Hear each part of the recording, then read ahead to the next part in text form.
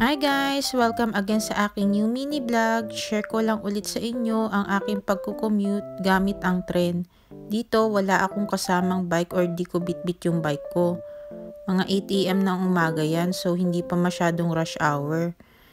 Tara guys, tour ko kayo sa loob ng train namin dito. Ayan, nakapasok na tayo sa loob. Ayan yung itsura ng train namin dito.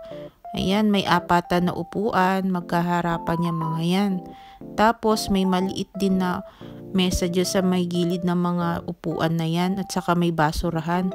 Saka yung bintana guys, so ang laki, ba? Oh, ang ganda ng view.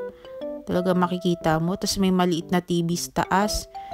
Yung maliit na TV sa taas guys, doon nakalagay kung saan yung mga train station na pwede kang bumaba. Ayan yung mga upuan guys, so talagang blue oh, ang itsura.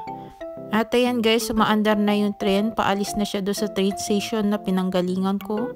At ito naman yung cable kung saan pwede ka mag-charge ng iyong cellphone or laptop. Diba? Social guys. Ayan yung table. Oh, medyo madumi lang ng konti.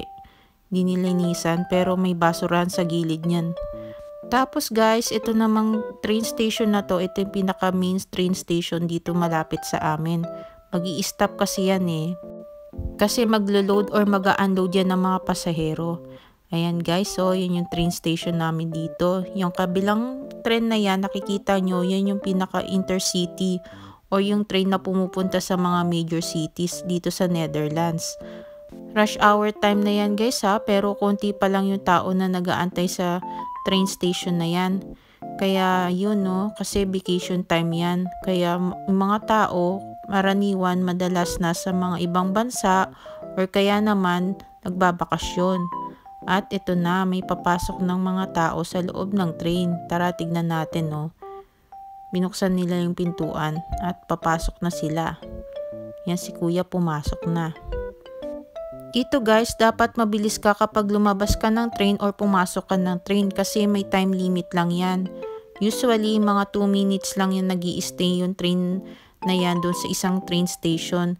Kaya dapat mabilis ka talaga guys or else maiiwanan ka talaga ng train.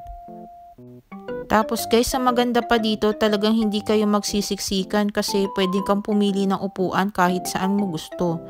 At ito naman guys, malapit na akong bababa sa train station na bababaan ko. At ito guys, nakatayo na ako malapit doon sa may pintuan kasi gusto kong ready na ako. Ayoko maiwanan ng train or baka ma-stock up ako dito sa loob ng train once na huminto siya. At ayan guys, bababa na ako. Ayan. Wait lang natin mag-open yung pintuan ng train. At yan, nagpindot ulit ako ng pintuan ng train at nag-open na siya. Yan si kuya, papasok naman siya. At yung iba, nagaantay din sila na makapasok sa loob ng train. Ayan yung itsura ng train station na binabaan ko. Maliit lang siya guys, hindi siya ganun kalaki. Kasi yung train na to, umihinto lang sila sa mga lugar na maliliit or hindi mga major cities. At yan, nag-sign out na ako or nag-log out na ako doon sa may train station na binabaan ko. Guys, mas handy talaga kapag may card ka dito or travel card kapag mabibiyahe ka ng train or bus kasi para hindi na rin hassle sa'yo magbayad ng pamasahe. At yan na guys, so maandar na yung train, umalis na siya. At yan guys, may nakalagay na sign na bawal kang tumawid, ba? Ayan o, oh, automatic din siya nag-open. Tanan! Ayan!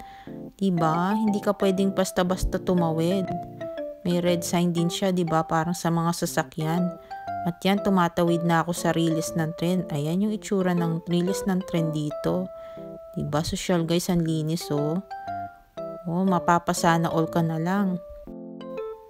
Tapos dyan guys, makikita nyo may maliit na parking lot ng mga bikes. Maliit lang yan ha, hindi siya maganong kalaki. Tapos dito naman yung bus stop na sasakyan ko. Tapos mag-aantay ako ng ilang minuto dyan sa bus stop na yan. Pwede akong umupo or pwedeng tumayo, depende kung anong gusto mo. Ayan yung itsura ng bus stop nila dito guys. So, iba. Tapos may nakalagay din kung anong time na sila darating or ilang minutes. Salamat sa panonood ulit guys and see you soon sa aking next vlog. Bye-bye!